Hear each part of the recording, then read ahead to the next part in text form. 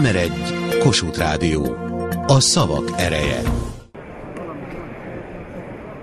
A Jobbiknál is, mint minden más pártnál javában készülöttek a választás napjának első sajtótájékoztatójára.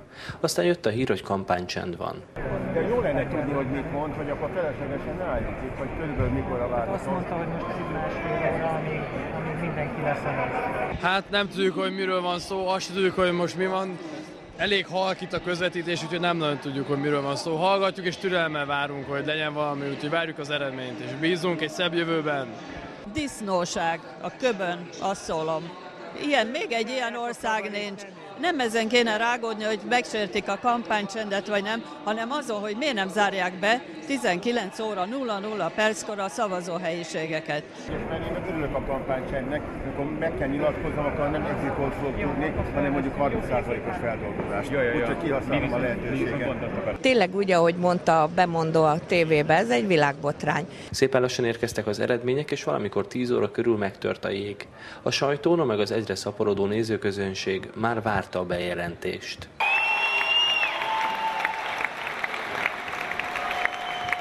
Ezúton tájékoztatom a jobbikosokat, szimpatizánsainkat, a megjelent sajtó képviselőit, hogy körülbelül fél óra múlva itt ezen a színpadon Vona Gábor, a Jobbik Magyarországért mozgalom elnöke.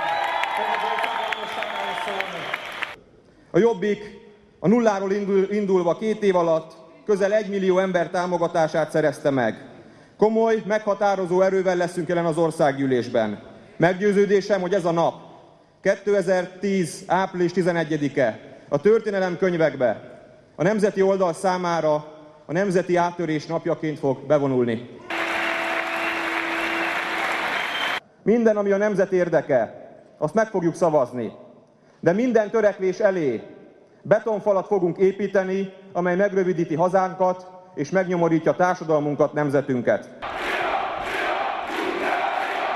A Jobbik úgy gondolom, hogy erős lesz ahhoz, egyedül is, hogy megkerülhetetlen tényezőként minden olyan kérdésben a nemzeti érdekeket érvényesítse, azokkal szemben, akik esetleg a transatlanti érdekeket kívánják érvényesíteni, hiszen ezt láttuk a Fidesz és az MSZP részéről is az elmúlt 20 évben. Este 11 körül a párt vezetői már javában adták az interjúkat, úgy tűnt lassan véget ér az eredményváró buli. Az elmúlt 20 év véget ért, és innentől kezdve már semmi sem folytatódhat ugyanúgy, ahogy eddig zajlott. Itt egészen új politikai helyzet alakult ki. Ugye bejutott egy LMP nevű új párt is a parlamentbe, ami még egyelőre zsákba macska, nem tudja senki, hogy mit akar és kikből áll.